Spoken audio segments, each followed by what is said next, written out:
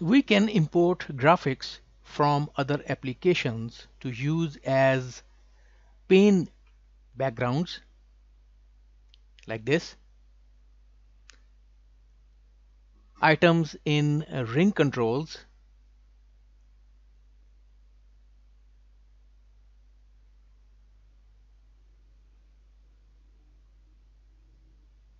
Like this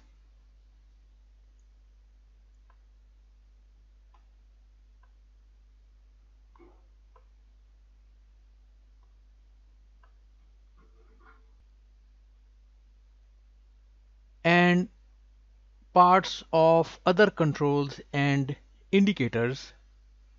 For example like this.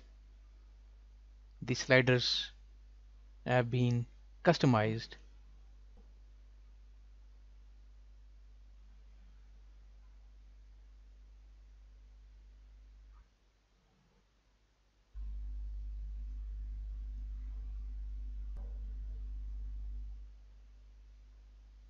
to represent these uh, cars. These are ordinary LabVIEW provided controls that have been customized with graphics.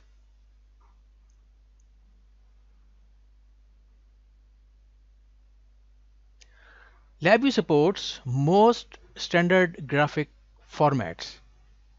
For example,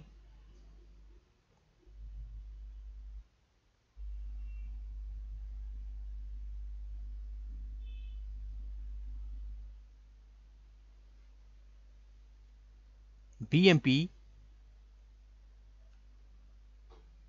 JPEG, animated GIF or GIF, MNG, animated MNG, and PNG.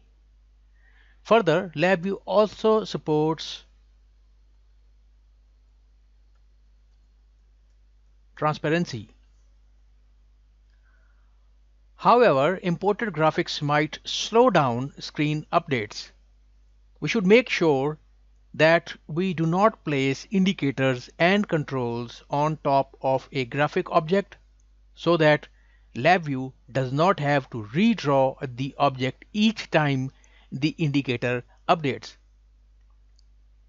If we must use a large background picture with controls on top of it, we should divide the picture into several smaller objects and import them separately because large graphics usually take longer to draw than small ones.